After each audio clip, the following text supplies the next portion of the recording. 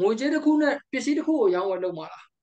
အဲ့တော့လူတိုင်းလူတိုင်းကကဘာပေါ်မှာရှိတဲ့လူတိုင်းလူတိုင်းဒီ forex market နဲ့ကင်းတဲ့သူတရားမှမရှိကျွန်တော်မြန်မာနိုင်ငံမှာဒီကောင်တွေနဲ့ပတ်သက်ပြီးတော့မှမဖွင့်ဖြိုးလို့နိုင်ငံခြားမှာကြားလို့မဟုတ်ဘူးအထက်တန်းကျောင်းတစ်ခုကိုရောက်လာပြီဆိုတော့ဒီ forex market နဲ့ပတ်သက်ပြီးဒီငွေကြေးနဲ့ပတ်သက်ပြီးတော့မှစာရွက်ရောလက်တွေ့ရောလုံးဝအသေးစိတ်ဖြစ်သွားတယ်တင်ပြပေးတာဘာသာရပ်တစ်ခုအနေနဲ့တော့တင်တင်ပေးတာကျောင်းတွေမှာဆိုလို့ရှိရင် မြန်မာနိုင်ငံမှာတော့လို့မသိသိလည်းမသိဘူးစိတ်လည်းမဝင်စားဘူးနားလည်းမလဲမဖွင့်လည်းမဖွင့်ဖြူမြန်မာနိုင်ငံမှာဆိုရင်အဲကျွန်တော်တို့ဒီငွေကြေးနဲ့ပတ်သက်ပြီးတော့မှနိုင်ငံတကာငွေကြေးနဲ့ပတ်သက်ပြီးတော့ direct ထိတွေ့တာမြန်မာနိုင်ငံမှာဆိုခီးသွားတဲ့လုပ်ငန်းပိုင်းတွေပေါ့ထိုင်းကိုသွားကြတယ်စင်ကာပူကိုသွားတယ်ဟလာကျွန်တော်တို့ဒါအမေရိကကိုသွားမှလားအော်စတြေးလျကိုသွားမှလားနောက်နိုင်ငံအာတနည်းအားဖြင့်တခြားသောနိုင်ငံတွေသွားပြီဆိုရင်သူများရဲ့ငွေကြေးကိုကျွန်တော်သုံးဖို့သုံးရတယ်မသုံးလို့မရ ထိုင်းကိုသွားမလားကျွန်တော်အရင်ကဘာလုပ်ရလဲဆိုရင်ထိုင်းဘက်ကိုလဲရတာပေါ့ဟုတ်လားမြန်မာနိုင်ငံနဲ့အဲ့လိုလဲကြတယ်သွားကြတယ်သူတို့သုံးမလောက်လဲတာโอเคကျွန်တော်350ကိုလဲမလား300ကိုလဲမလားလဲလိုက်တယ်ပြီးပြီဆိုရင်လဲတယ်ပတ်တယ်စားရတောက်တယ်ပြန်လာတယ်ဒါပဲကျွန်တော်တို့မလဲခင်မှာအဲ့နိုင်ငံမှာရှိတဲ့ငွေကြေးတန်ဖိုးကတက်နေရတာကျနေရတာကျွန်တော်တို့နားလည်းမလဲဘူးစိတ်လည်းမဝင်စားဘူး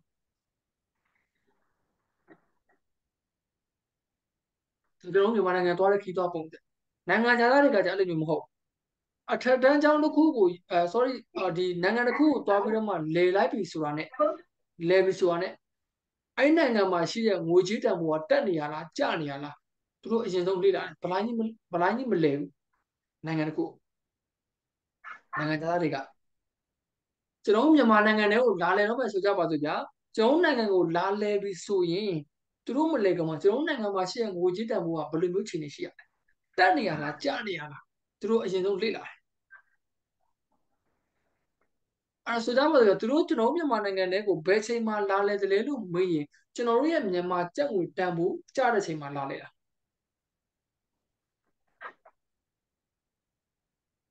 အခုလိုချိန်ပေါ့ဗျာနိုင်ငံရေးသာကောင်းကြည့်ကြည့်လိုက်အွန်လိုင်းကျင်းလိုက်ဝင်လာမှာကျွန်တော်မြန်မာကြက်ကိုတန်ဖိုးကျနေတဲ့အချိန်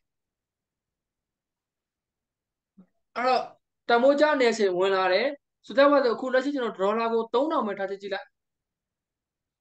ဒေါ်လာ3000ဆယ်ဒေါ်လာဆိုတော့3000ဒေါ်လာ100ဆိုတော့3သိန်းဒေါ်လာ1000ဆိုတော့330โอเคသူတို့လက်ထဲမှာဒေါ်လာ1000ပါလာဆိုကြပါစို့သူတို့မြန်မာနိုင်ငံထဲကိုဝင်လာတယ် exchange counter ကိုသွားတယ်330ကိုလဲလိုက်တယ်ဒေါ်လာ1000ပေးလိုက်တယ်သူလက်ထဲမှာ330ရလာတယ်ပေါ့330ရလာတယ် အဲ့တော့မြန်မာနိုင်ငံထဲကိုဝင်လာတယ်အဲ့ဒီ330နဲ့လေလေပတ်တယ်စားတယ်တောက်တယ်အဲ့ဒီထဲကမှသူတို့3သိန်း3လိုက်တယ်ဆိုကြပါစို့သူတို့ထဲမှာဘယ်လောက်ကျန်လဲမှာ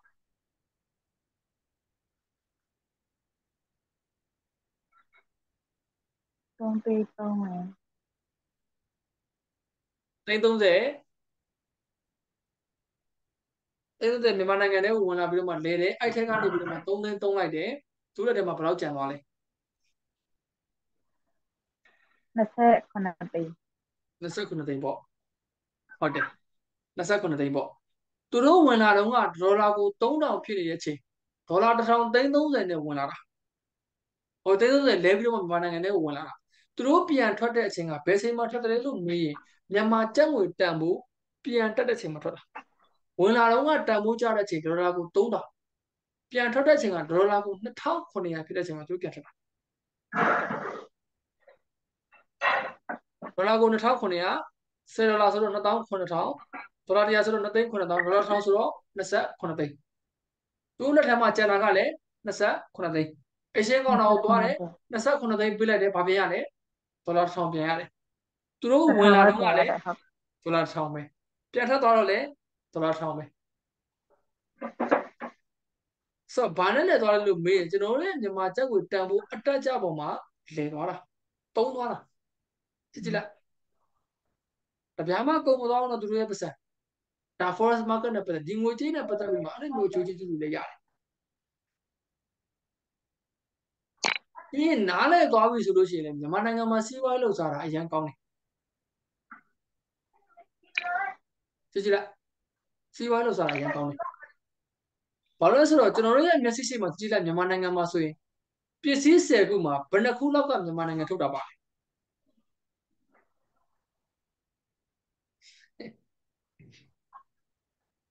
ကျွန်တော်တို့မြန်မာနိုင်ငံထုတ်တာလူပဲဖြစ်မယ်တင်တယ်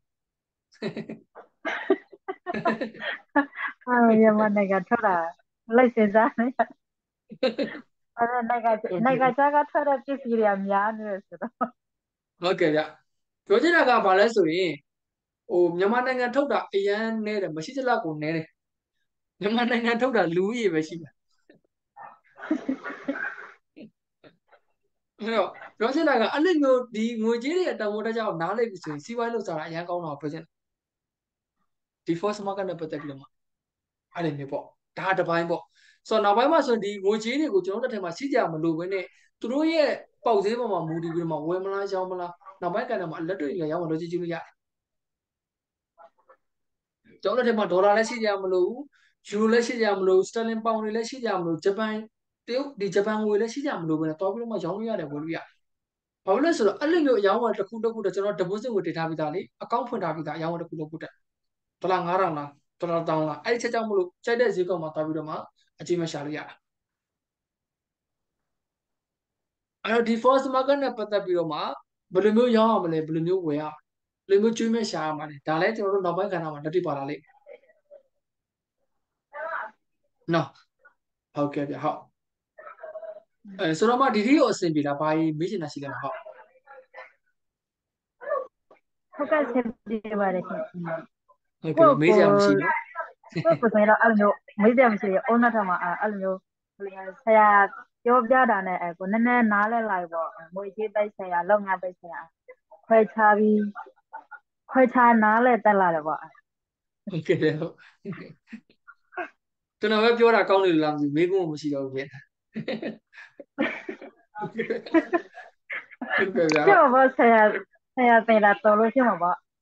အဲ့ဒါဆိုတော့ညီမတို့ကဒီလိုမျိုးစီးပွားရေးတွေပါတယ်အခါမှတော့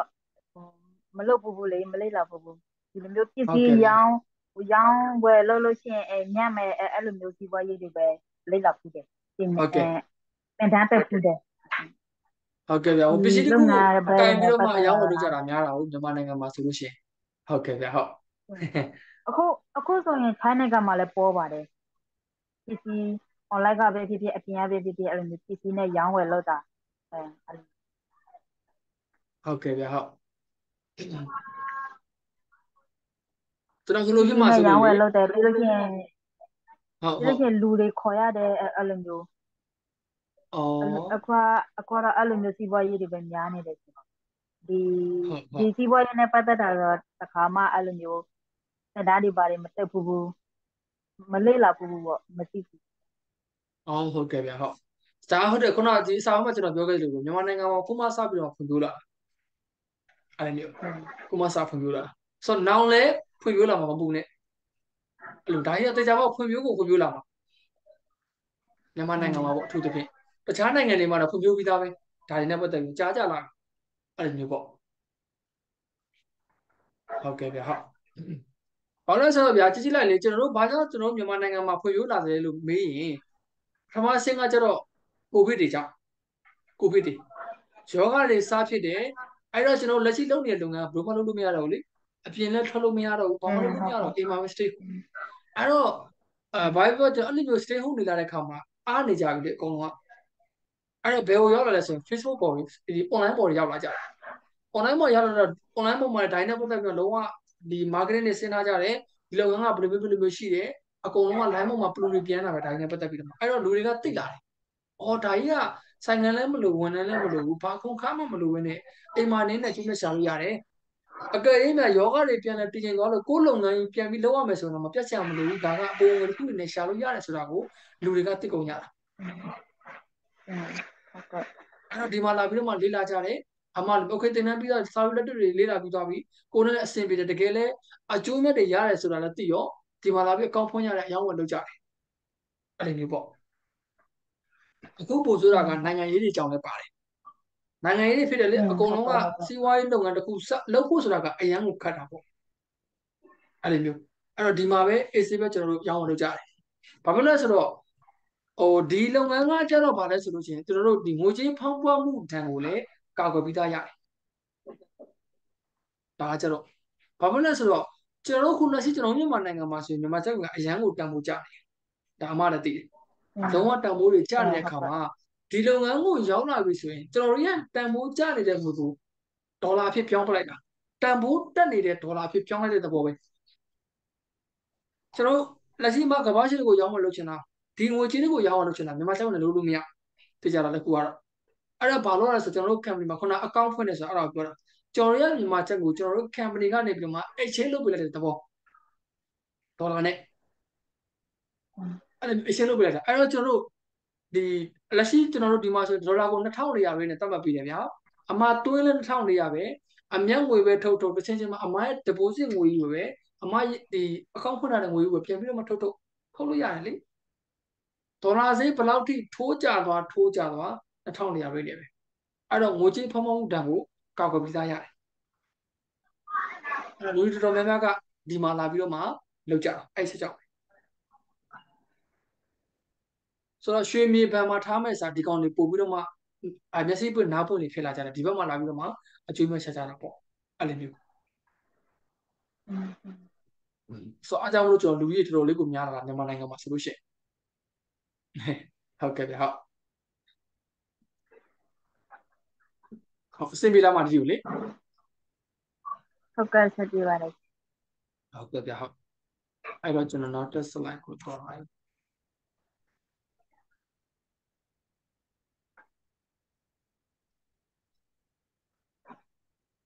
ကျွန်တော်ထိုင်းအောင်လဲလာဖို့အာစိတ်ကူးတွေရဒါပေမဲ့ passport ကမလုပ်ရသေးဘူးကြည့်อืมထိုင်းမှာဆိုထိုင်းလာရင်တော့ဟိုဘယ်လိုပြောမီးတို့ရေတို့နေရာတို့ကတော့အေးဆေးတော့နေရမှာပေါ့အေးဆေးပေါ့ရမှာပေါ့ဟုတ်လားလေစရာပတ်စံပေါ်လာတိုက်ကြတော့ပေါ့ရမှာလေစရာပတ်စံပေါ်လာ ဟုတ်ကပေါ်ပါတယ်ဆရာပေါ်တယ်ဘန်ကောက်ဘန်ကောက်တွေဆိုတော့အကြီးပဲဆရာတလားလောက်နေရင်လည်းပေါ်လို့နှံ့မှာမဟုတ်ဟုတ်ပါလေအဲကျွန်တော်တင်းလောက်နေမှရပါတယ်ဟုတ်ကဲ့ဗျာဟုတ်ဟုတ်တယ်ဟုတ်တယ်ဟုတ်ကဲ့ဗျာဟုတ်အဲ့ဒါကမကောဆိုတော့တနေ့လောက်နေမှရမယ်အဲ့လိုစိတ်ကူးရနေလူတွေကျွန်တော်ထိုင်းအောင်အဲ့လိုဘန်ကောက်တွေပါတယ်လေချင်းနေအဲ့ဘက်ကိုဟုတ်ကဲ့ဗျာဟုတ် တခါတလေခရီးထွက်တော့လည်းအတွေ့အကြုံပိုရတာပေါ့ဆရာပိုပြီးတော့ဟုတ်ကဲ့ဗျဟုတ်တယ်လူကြီးလည်းများတော့ပေါ့ဟုတ်ကဲ့ဗျဟုတ်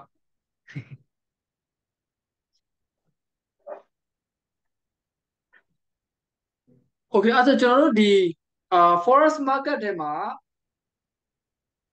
လူကြီးဘယ်လောက်လောက်တရက်ကိုဘယ်လောက်လောက်တနည်းအားဖြင့်ဒီငွေကြေးစစ်စစ်မှုပေါ့တရက်တရက်အယောင်းဝယ်လုပ်နေတဲ့ပမာဏကဘယ်လောက်တောင်ရှိသလဲပေါ့ Holy Forest Market ကြီးတွေမှာဒီထဲမှာဆိုအများကြီးပါပါဗျာကဘာရွှေနိုင်ငံတကာငွေချေး store တွေအကုန်လုံးပေါ့အယောင်းဝယ်လုပ်နေကြတဲ့ပမာဏငွေချေးစီးဆင်းမှုဝယ်လိုအားရောင်းလိုအားကဘယ်တော့တောင်ရှိတယ်လဲပေါ့အဲ့ဒါကိုကျွန်တော်ဘာနဲ့တိုင်းတာထားတယ်လဲဆိုလို့ရှိရင်ကဘာမှာအကြီးဆုံးသော stock exchange ၃ခုနဲ့နှိုင်းယှဉ်ပေးထားတာဒီ forex market ကြီးဒီ online trading ဒီ online စီးပွားရေးလုပ်ငန်းကြီးကဘယ်တော့တောင်ကြီးတယ်လဲဆိုတာကိုကဘာမှာ stock exchange တကယ်အကြီးဆုံးသော stock exchange ၃ခုနဲ့နှိုင်းယှဉ်ထားတာပထမတစ်ခု New York New York နိုင်ငံမှာရှိတဲ့ stock exchange NYSE လို့ခေါ်တာပေါ့သူရဲ့သူရဲ့တူပေါက်ကတော့ New York Stock Exchange မှာသူရဲ့တရက်တရက်ငွေကြေးစီးဆင်းမှုက22.4 billion ဒေါ်လာရှိ